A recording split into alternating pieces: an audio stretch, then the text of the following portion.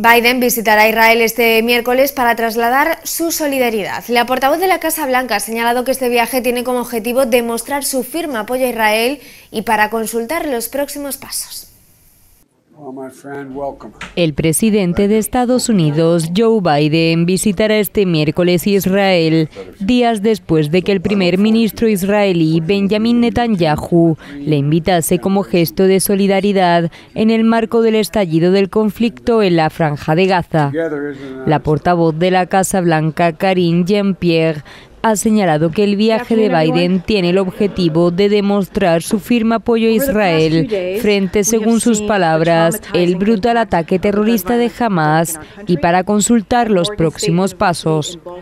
Tras reunirse con Netanyahu, el mandatario estadounidense viajará a la capital jordana, Amán, donde se reunirá con el rey Abdullah de Jordania, el presidente de Egipto, Abdel Fattah al-Sisi, y el presidente de la palestina, Mahmoud Abbas.